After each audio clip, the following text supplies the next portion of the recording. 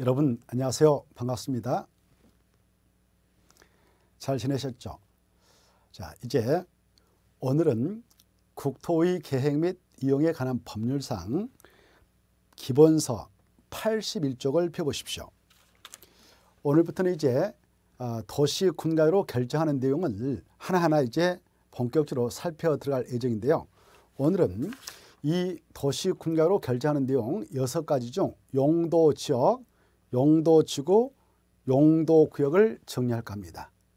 이 파트에서는 최소한도 두세 문제가 나오니까 잘 정리해서 나오면 다 맞춰야 돼요.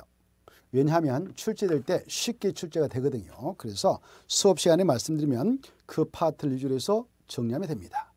자, 기본서 78쪽, 어, 79쪽은 볼 것 없어요. 그래서 80쪽도 볼 것 없어요. 81쪽부터 보시면 됩니다. 81쪽 보시면 국토의 사용도 구분과 관리무가 나와 있죠. 이 국토라고 하는 것은 전국에 있는 토지다. 전국에 있는 토지를 바로 크게 쓰임새를 네 가지로 쪼개서 지정하는데요. 그걸 사용도 구분, 사용도 지정 구분 이렇게 합니다. 그때 네 가지 용도적이 무엇이냐? 거기 보시면 도시적이 있고요. 관리적이 있고요. 농림적이 있고요. 자연환경 보진인데 이 박스 안에 있지 않습니까? 이 박스 안에 있는 내용을 자주 좀 읽어보셔야 돼요. 여러분들은. 그래 전 국토 이렇게 국토가 있다. 전국에 있는 토지를 국토로 합니다. 국토. 이 국토를 관리할 때 행정청에서 관리하죠. 행정청 하면 국가, 지방자치단체, 국가를 대신해서 국토교통부 장관이 시도사, 시장, 군수, 구청장 얘네들이 지방자치단체장인데 그네들 중 시도사하고 대도시장이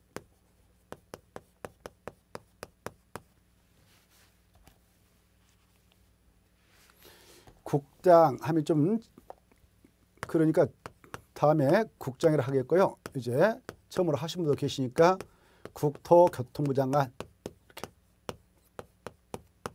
이렇게 이렇게 그래 이네들이 바로 계획을 입안해서 그 계획이 무슨 계획이냐 도시 군갈기입니다. 입안해서 결정해 가지고 이 네 가지 용도적을 관리하고 있어요.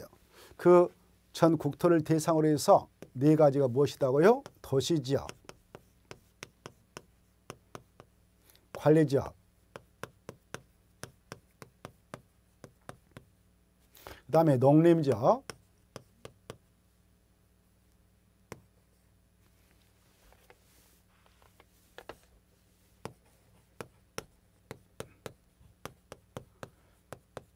그 다음에 자연, 환경, 보전적 이렇게 네 가지로 구분해서 관리하고 있습니다. 이걸 용도지라 하죠.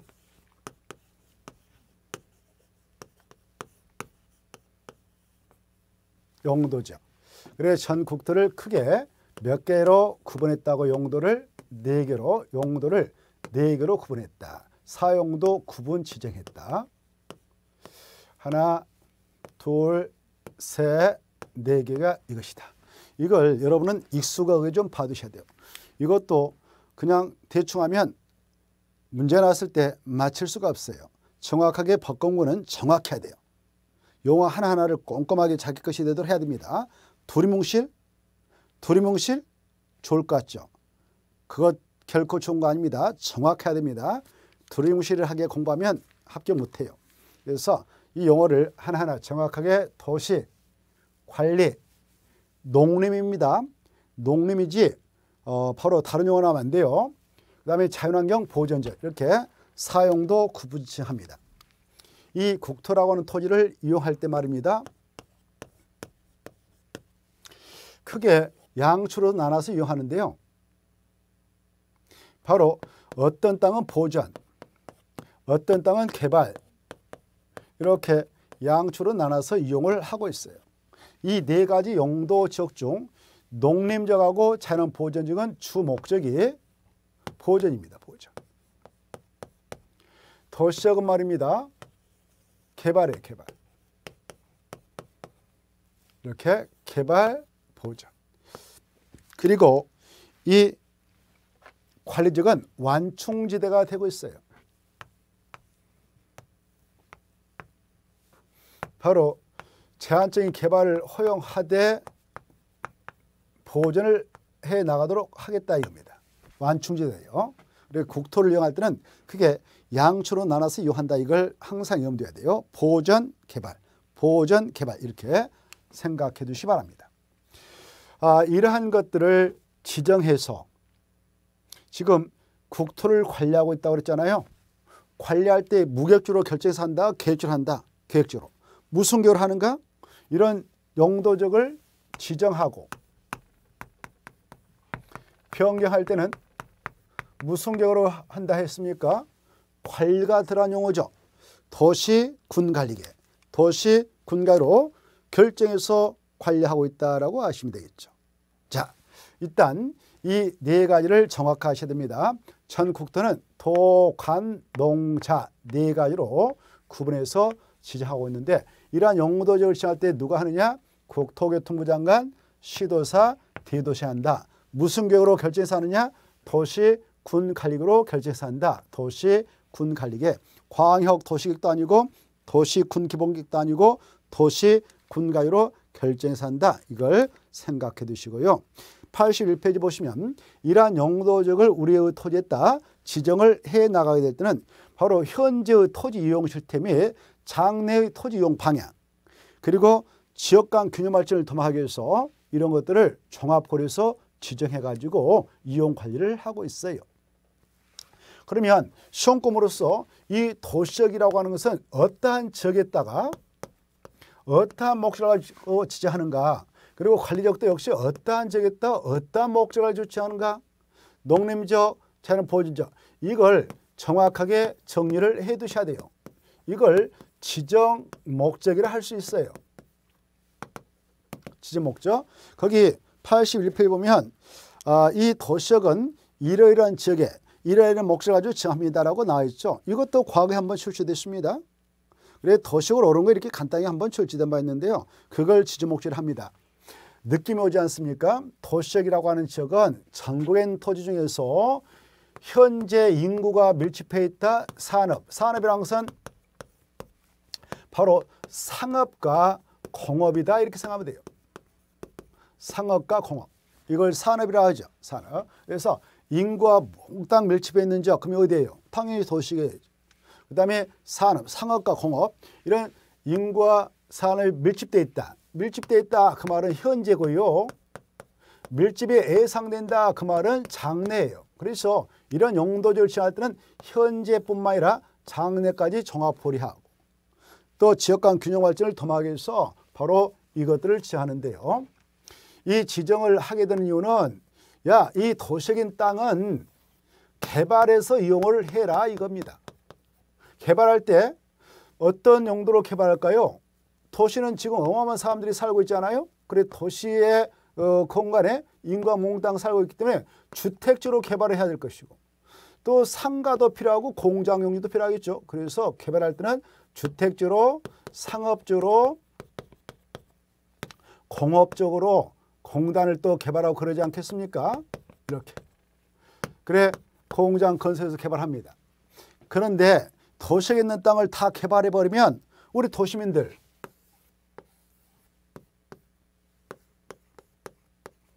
이 도시민들 이 도시민들 어떻습니까?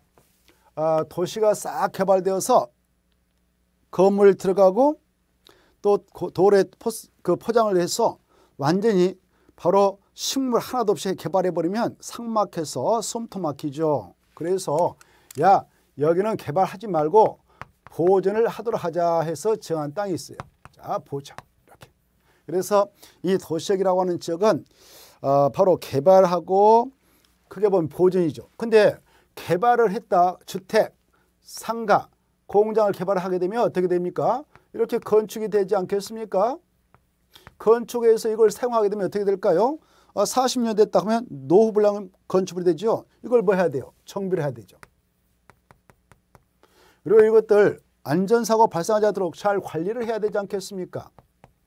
그래서 이 도시계라는 것은 인구와 산업이 밀집되어 있다 현재 밀집이 예상되는 지역이다 장래 그런 지역에 지정하여서 개발하고 정비하고 관리하고 보존을 할 필요가 있는 지역이다 이렇게 정확하게 용어를 알아두시기 바랍니다.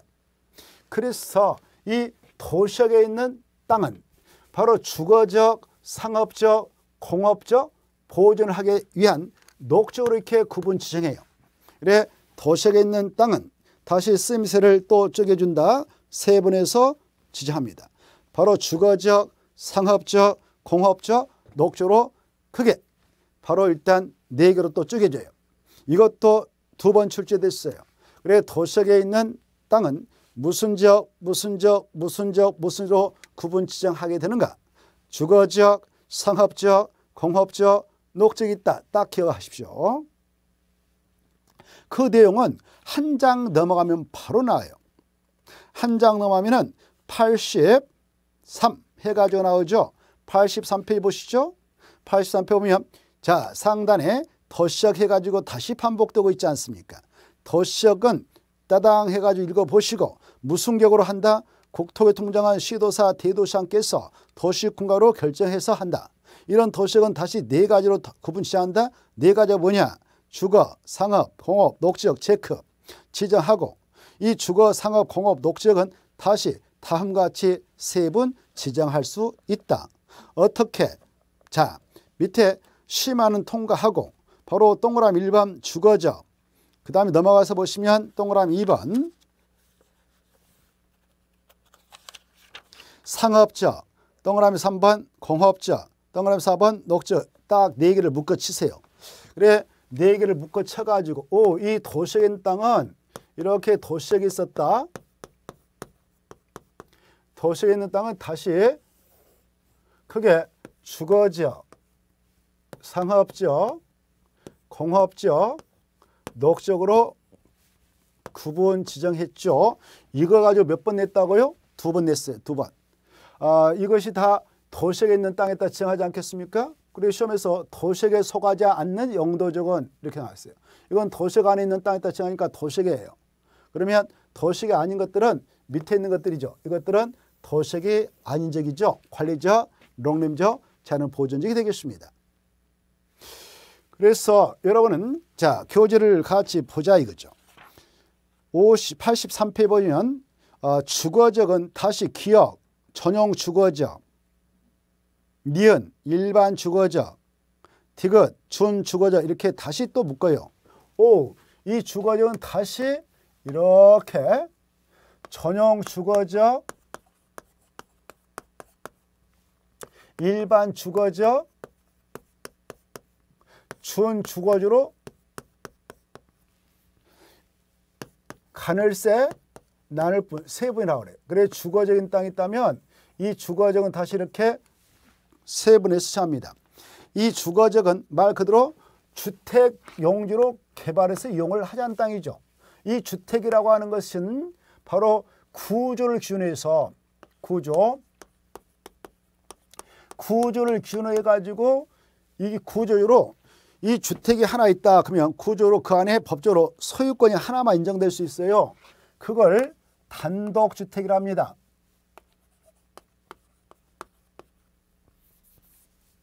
자, 그래 단독트라고 그 다음에 하나의 건축물이 주택이 있는데 그 안을 구분해요.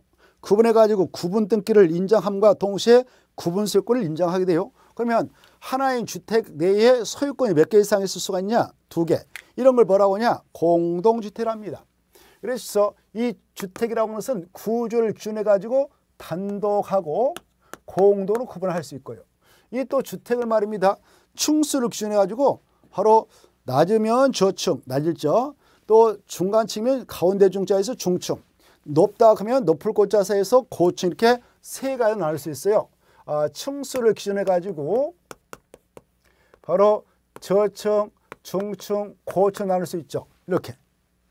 그래 이 주택도 되도록이면 유효상정하도록 하는 게 낫겠죠. 규제한 게 낫겠죠. 여기가 예컨대 주택을 질수 있는 주거지이다. 그래 이 안에 편입되어 있는 토지 보니까 여러 사람의 토지가 편입되어 있는데 주택을 건축할 수 있는 주거지라 하여서 뭐 자기 마음대로 주택에 해당을 막 건축해 버린다. 여기 땅 주인은 단독 주택을 건축 수행하고 있고 나머지 이 땅 주인들은 막 15층 아파트를 다 건축해서 이 단독택을 포위하게 된다면 이 단독택에 살고 계신 분은 기분 좋을까요? 기분 나쁠까요? 완전히 포위되어 있잖아요. 그렇죠? 햇볕도 못 들게 딱 막아버렸다. 그러면 어떻게 될까? 날마다 분쟁 발생하겠죠. 그러면 어때? 서로 행복하게 이 토지를 이용할 수 없죠. 그래서 이 공익신을 주체인 국토교통부와 시도사, 대도상이 미리미리 다 조사하고 어 그리고 절차 거쳐서 야 이 주거용 주거인데 이렇게 하지 말고 여기는 주로 단독주택 여기는 주로 공동택 여기는 주로 저층 중층 중고층 여기는 상가 주택 짬뽕 이렇게 딱 나눠줘야 되겠죠 그래서 이 주거적은 이와 같이 세분해서 지정을 하게 되는데요 이때 전용 주거적은 구조를 기준해서 나눠가지고 이용을 하자는 땅으로 지정합니다. 구조를 기준해서 나누면 두 가지 따로 있죠. 단독주택하고 공동택하고. 그래서 전용 주거적은 일종 전용 주거적, 이종 전용 주거 이렇게 두 가로 다시 쪼개요. 그래 제1종 전용 주거적은 단독주택 중심으로 양호한 주거환경을 보호할 필요가 있는 지역으로 지정해주고 그래서 제1종 전용 주거지에 있는 땅은 대부분 단독택이 들어가 있어요. 그래 가서 보면 어느 어, 그 지역을 가서 보면 단독택 1층, 2층짜리 쫙 있는 지역이 있다. 그런 적은 땅이 제1종 전용 주거적인 토지였기 때문에 그랬던 것이다. 이렇게 하시면 돼요. 그 다음에 이 전용 주거적 중 2종 전용 주거적은요. 공동주택 중심으로 이건 단독이라고 그랬죠. 공동주택 중수로 양호한 주거환경을 보호할 필요가 있어서 정합니다. 그래 어느 지역을 가서 보았더니만 공동택 일종인 다세대택이 질비하게 딱 있다. 그 지역은 토지의 용도적이 제2종 전용 주거적인 토지였기 때문에 그랬던 것입니다. 그리고 일종 전용 주거적 이것은 단독주택 중심이다. 공동주택 중심이다. 일종 전용 주거적에 해서 일종 이렇게 해보세요. 했나요? 이걸 가지고 단독일까 공동일까 고민하시면 이건 이건 사람이라고 볼 수 어렵죠. 이게 어떻게 공동이 돼요? 일종 전용 주거지역은 단독주택 중심이다. 일종 전용 주거지역은 단독주택 중심이다. 이거 단독이잖아요. 이종 전용 주거지역은 이종 전용 이렇게 손가락 해보세요. 이종 전용 주거지역은 단독이다 공동이다. 이걸 단독으로 하면 사람도 아니죠. 이거 뭐예요? 공동이잖아요. 그래서 이종 전용 주거지역은 공동주택 중심, 일종 전용 주거지역은 단독주택 중심 꼭 짝짓해서 알아주시고 그 다음에 이제 이 일반 주거지역은 땅을 싹 밀어요. 계획적으로 밀어가지고 바로 이 기반서를 쫙 넣고 그리고 딱딱 나눠요. 이 하나의 도시를 만들 때 조화로운 도시가 되더라야지 여기저기 다 아파트 짓도록 하면 이것도 상막해진 거 아니겠습니까? 그래서 야 여기는 열택인 바로 4층 한번 짓을 하자. 여기는 바로 5층부터 뭐 29층 아파트만 짓을 하자. 여기는 어 그 5층부터 뭐 35층 이렇게 40층도 지도를 하자. 짬뽕으로 좀 고층으로 지도를 하자. 이렇게 나눠져야 되겠죠. 그런 쪽으로 사용하기 위해서 지정을 해 나가게 되는 땅이 일반 주거지역이에요. 일반 주거지역은 층수를 기준해서 이용을 하자는 땅입니다. 층수를 기준해서 나누게 되면 아까도 말씀드렸다시피 저층, 중층, 고층 이렇게 세가 나눌 수 있다고 그랬죠. 바로 이 일반 주거지역이 그런 지역이에요. 그래서 일반 주거지역은 그 이렇게 일반 주거지역이 있다 그러면 이걸 다시 세 개로 쪼개요. 일종이종삼종이라고 그래서 일종이종삼종까지 세 분된 게 일반 주거인데요. 일종이종삼종 할 때 생각해 보세요. 일종이종삼종 이렇게 되네요. 수치가 어느 게 더 높아집니까? 3이에요? 1이에요? 당연히 3이잖아요. 1은 낮잖아요. 그래서 1종은 저층, 2종은 가운데 있었죠. 중층, 가운데 중자. 3이 제일 높았죠. 고층. 이 3종은 중고층 이렇게 기하세요. 이걸 짝짓해서 알아주시고 그래서 저층주택, 중층주택, 3종은 중층까지 다 집어넣어도 돼요. 중고층 주택 이렇게. 이걸 잘 짝짓해야 돼. 일반 주거지역은 바로 다 개발해가지고 택지 개발 같은 거 해가지고 딱딱 살기 좋게 만듭니다. 판을. 그래서 편리한 주거환경을 조성할 필요가 있다. 이렇게 표현해요. 편리한 주거환경을 조성할 필요가 있는 지역. 아까 전용 주거지역은 양호한 주거환경을 보호한다 그랬죠. 양호한 주거환경을 보호할 필요가 있는 지역이다 지한다 그랬죠. 그래서 양호하는 전용 주거지역, 편리한은 바로 일반 주거지역. 이것도 암기해. 전량은 일편 단심에 빠져 있다. 전량은 전량은 이거 양을 하고 있죠. 전량은 일반 뭐에 편리하고 있죠. 전량은 일편 단심하고 있다. 이렇게 하시면 되겠죠. 이것도 잘 짝짓해서 알아두시면 좋겠습니다. 자, 그 다음에 이, 그, 음, 그래요. 이 저층이라는 것은 4층을 말한다. 이렇게 생각하면 돼요. 4층. 그래서 일종 일반 주거적인 토지를 만났다. 그러면 보통 4층 이밖에 못 진다. 다만 외에도 있습니다. 아, 이 주택법 시행령상 도입되어 있는 주택이란 게 있어요. 그런 주택 중 도시형 생활택이 있고 도시형 생활택 중 단정 열택과 단정 다세대 주택이라는 게 있는데요. 그것만은 특례를 인정해서 일종 일반 주거적인 땅이 있다. 주택으로 5층까지 건축할 수 있는 예가 있습니다만은 그것 빼고는 다 일종 일반 주거적은 저층인 4층에밖에 못 지도록 규제합니다. 여러분이 공인 중개사가 되셨다. 중개를 한다. 중개 의뢰인이 땅을 살려고 왔다. 땅 매도 의뢰인이 땅 맡겨놨다. 그러면 이 중개인이 나 7층짜리 건축물 하나 줄 테니 땅 좀 중개해 주라 라고 하게 되면 그 분에게는 제1종 일반 주거에 있는 대지를 중개하면 될까 안 될까요? 안 되죠. 제1종 일반 주거는 몇 층에 밖에 못 지는데 4층. 이렇게 실무적으로 이게 아주 중요하니까 잘 생각해 두시고요. 그 다음에 이제 어, 이 중층이라고 하는 거 있잖아요. 중층. 중층은 바로 5층 이상부터 29층 이하다 이렇게 생각하고요. 고층은 30층 이상이다 이렇게 생각하면 됩니다. 자, 그 다음에 이제 준주거지라는 건 말이죠. 이 준주거적을 잘 뜻을 봐봐요. 준주거적은 바로 이 인근에 있는 이렇게 주거적이 있다 그러면 주거적 바로 인근에 상업적이 있어요. 이 상업적하고 이 주거적 사이에 완충지대가 되도 하자. 이 상업적이라는 용도 지금 말입니다. 상업적은 어 바로 숙박스를 건축할 수 있는 땅이 돼요. 모텔 같은 거. 또 유흥중 같은 위락설이 들어갈 수 있는 땅이 상업적입니다. 이 유흥주점 같은 유락설하고 숙박설 모텔 같은 것이 주택가 근처에 딱 붙어 있다 그러면 이 교육을 하게 되는 우리 애들, 어? 학생들, 이 학생들에게 악영향을 미칠 수가 있다고 보는 겁니다. 일반적으로. 그래서 이 주택가하고 그런 시설이 밀집해 있으면 서로 이 주민과 그걸 운영하는 사람 간에 분쟁이 발생할 수가 있기 때문에 바로 그 완충대가 필요한 거예요. 그래서 준주거적을 그 사이에다 지정을 해서 바로 나가는데 준주거적은 짬뽕지대다. 아, 주거적이니까 주택이 주로 들어가겠지만 준이 들어갔었죠. 그래서 상가 건물도 업무 시설도 들어가 있다. 그래 준거 지역은 준 주거적은 바로 주거기을 유지하되 상업 업무균을 보완할 필요가 있을 때 지합니다. 그 다음에 이 상업적, 상업적도요 네 가지로 쪼개져요. 쪼갠다 이걸 가늘세 나눌 뿐 이렇게 하는데 중심 상업적, 일반 상업적, 그 다음에 유통 상업적, 근린 상업적 이렇게 돼 있죠.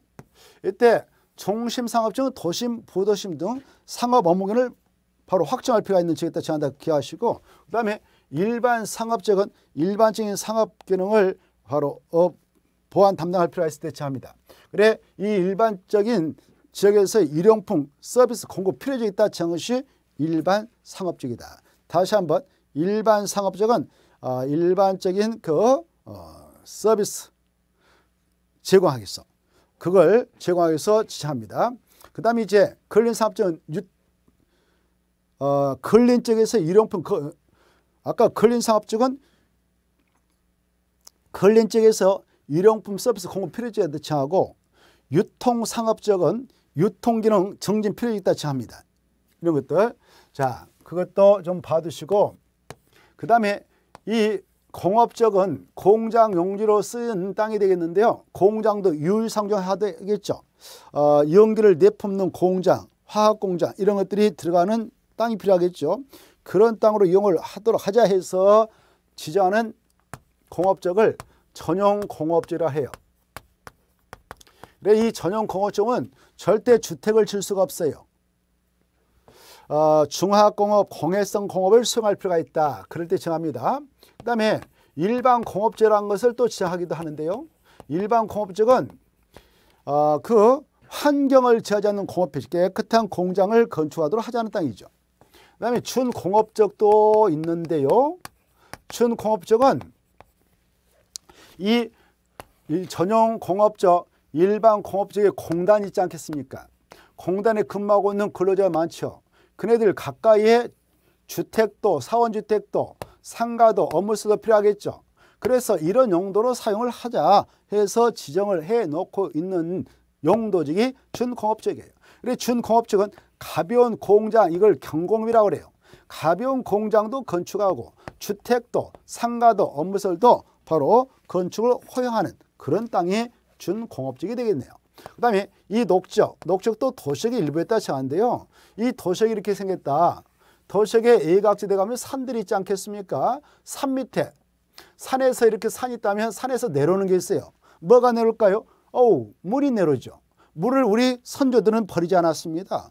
그 물을 적극 활용해서 농사를 지켜 한 땅들을 만들어 놨어요. 그게 뭐예요? 농지지 않습니까? 그렇죠? 그래서 이 땅들 산이라든가 도시 안에 도시 안에 있는 산, 농지 이거 함부로 개발 못해 막아야 되겠죠. 그래서 지정하게 된 것이 녹적인데요. 이 녹적도 산을 따 정한다. 그러면 산은 자연환경 그대로 보존해야 되겠죠. 산림 보존해야 되겠죠. 그래서 그럴 때는 보존 녹적이다라고 지정하고요. 이 산속에 경관도 있으니까 그걸 잘 보존해야 되겠죠. 그 다음에 이제 이 농지, 쓸만한 농지 있잖아요. 우리 도시역에 애각지대에 가보면 아직도 쓸만한 농지가 있단 말입니다. 거기서 뭐 하도록 해야 되겠어요? 농업적 생산해야 되겠어? 공업적 생산해서 임업적 생산해야 되겠어요? 바로 농업적 생산해야겠죠. 그래서 농업적 생산할 때 생산할 말 살려가지고 생산 녹적이라 합니다. 생산 녹적은 농업적 생산을 위하여 일단 그 땅 개발을 유보하자. 라고 할 때 정한 것이다. 이렇게 알아주시고요. 이제 바로 녹적 중에서도 이 예각시대 산이 있었다. 보존 녹적. 그 밑에 농지가 있었다. 생산 녹적. 이것도 저것도 아닌 그런 예각시대 아주 그 개발을 좀 유보를 하고 더 나아가서 개발 못하게 보존한 땅이 있는데요. 그 땅은 자연 녹지이다라고 지정을 하게 됩니다. 다시 한번 정리합니다. 도시역 안에 있는 토지 중 예각 산이 있다. 그러면 산림 보전, 그 다음 경관 보전, 자연환경 보전해서 이건 보전 녹지로 정하고 산에서 물이 내려왔다. 물을 이용하는 농경지가 있다. 그러면 생산 녹지로 정하고 그리고 녹적 중에서도 이 주거적, 상업적, 공업적에서 개발이 끝나면 필요로 도시 용도로 쓰도록 공급할 땅이 필요하지 않겠습니까?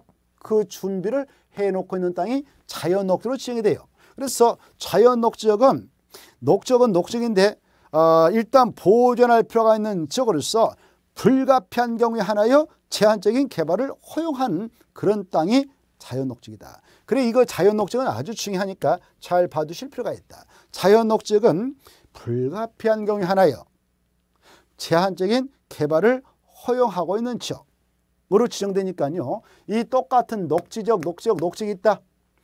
이래 자, 이렇게 도로가 있는데요.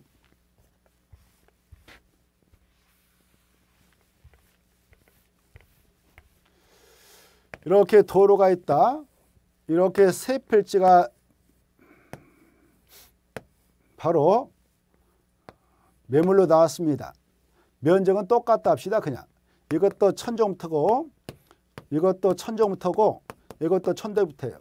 근데 여기는 자연 녹지 지역으로 나와 있고 생산 녹지로 나와 있고 여기서 보조 녹지로 나와 있어요. 1억에 나왔네요. 1억에 나왔네요. 1억 원. 그러면 똑같은 조건이면 여러분은 어떤 땅을 챙기는 게 낫겠습니까? 바로 자연 녹지기 훨씬 좋죠. 똑같은 조건, 똑같은 값이라면 자연 녹지기 챙기는 지혜가 필요합니다. 이런 지혜는 어디에서 생길까요? 공법을 공부함으로써 생기는 것입니다. 그래서 이걸 알고 있으면 누가 속이를 못해요. 왜 속느냐? 자기가 모르니까 속는 것이죠. 상대방은 속이지 않습니다. 자기가 모르는데 모르고 응 하고 나서 자기가 자기를 속여버린 것이죠. 모르는데 안착하다가 이렇게 되는 것이 이 부동산 문제예요. 모르면서 안착하다가 자기가 당한 겁니다. 상대방은 사실도 말했는데 응 하고 놓고 어 자기가 모르니까 자기를 자기가 속였던 것이죠. 그래서 바로 이 어, 자기가 자기를 속이지 않기 위해서는 모르면 모른다 그래야 되는데 모르면서 앙 하니까 이제 자기가 자기를 속여버린 거예요. 아무튼 이 자연 녹지적이라고 하는 것은 녹지 중에서도 불가피한 경우에 하나의 제한적인 개발이 허용되고 있기 때문에 상대로 땅이 좋다, 개발이 쉽다 이렇게 생각하십시오. 자, 이거 잘 나오니까 잘 봐두십시오. 그래 이걸 도식에 세분해 놓고는 그런 용도지를 합니다. 여기까지 하고 잠 쉬었다가 관리적으로 들어가겠습니다. 그 다음에 농림적 자연본질을 보도록 하죠. 쉬었다 하겠습니다.